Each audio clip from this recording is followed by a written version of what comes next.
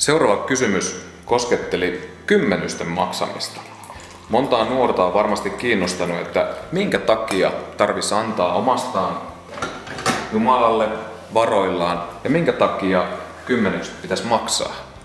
No, jos sä rupeat lukemaan raamattua, niin siellä hyvin alkulehdiltä alkaen nähdään, miten Jumala halus, että me luovutetaan meidät itsemme Jumalan käyttöön.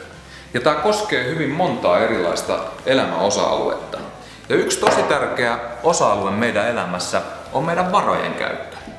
Ja Raamattu puhuu siitä, että jos me halutaan palvella Jumalaa ja antaa itsemme Jumalalle, se koskee kaikkia meidän elämäalueita, mukaan lukien meidän talous.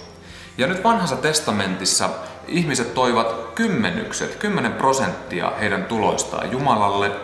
Ja näin myös Jeesus vahvistaa Uudessa testamentissa, että kyseinen antamiskäytäntö oli myös hänen tahtonsa. Ja raamatussa kerrotaan, että jos joku ei anna kymmenyksiään, niin hän silloin varastaa Jumalalta. Ja näin ollen, näin ollen voidaan ajatella, että silloin kun me annetaan Jumalan valtakunnan työhön meidän varojamme, niin silloin me annamme Jumalalle takaisin sitä, mitä hän on antanut meille.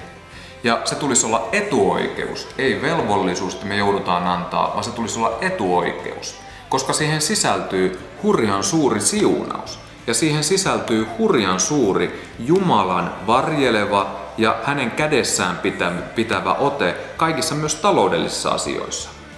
Tässä kymmenysasiassa ei saa mennä siihen ääripäähän, että me annettaisiin ainoastaan meille meidän kymmenyksemme Jumalan valtakunnan työhön, jotta me saataisiin itse taloudellista menestystä. Se ei saa olla motiivi, vaan motiivi tulee olla se, että mä haluan mun taloudenkin osa-alueen antaa Jumalan käyttöön.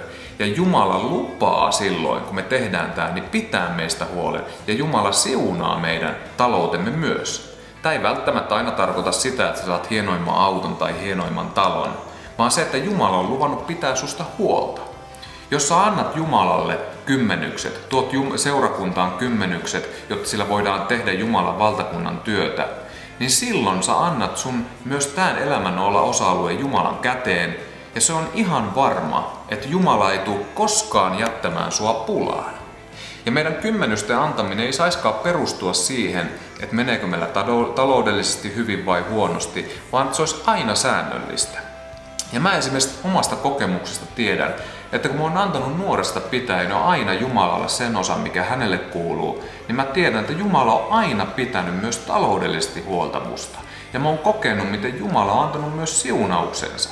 Ei niin, että olisin jotenkin menestymisen takia antanut, vaan se, että silloin kun on ollut tarvetta, niin yhtäkkiä Jumala on jollekin puhunut, että antaa mulle joku tietty summa, että me pärjätään. Mulla on tämmöisiä kokemuksia hurjan monia.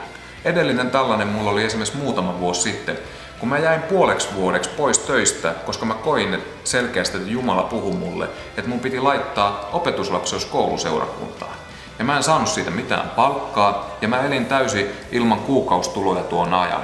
Ja sinä hetkenä, kun mulla ei ollut yhtään penniäkään rahaa, niin Jumala oli puhunut eräälle toiselle ihmiselle ja hän antoi mulle huomattavan summan, ei mitään kymmeniä tuhansia euroja, vaan huomattavan summan sillä lailla, että sai maksettua laskut ja muut. Ja siinä mä edellisen kerran koin tämmöisen oikein selkeän Jumala yliluonnollisen huolenpidon silloin, kun mä en olisi pärjännyt omin, omin voimin. Eli kun sä annat Jumalalle sun varoistasi, silloin sä annat kaikki sun elämäs osa-alueet myös talouden huomioon ottaen Jumalan käyttöön.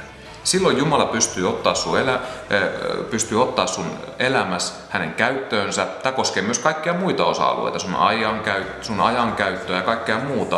Mutta silloin kun sanat taloudesta Jumalan käyttöön omaas, niin silloin sä oot senkin alueen luovuttanut Jumalalle ja sä pystyt myös Jumalaa koettelemaan ja sanomaan, että pidä huolta nyt musta, kun mä hoidan oma osuuteni. Malakian kirja puhuu tästä.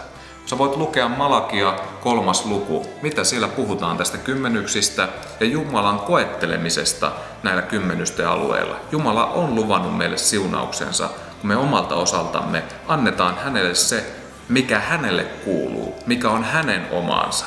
Me ollaan ainoastaan täällä hänen omaisuutensa vartioina.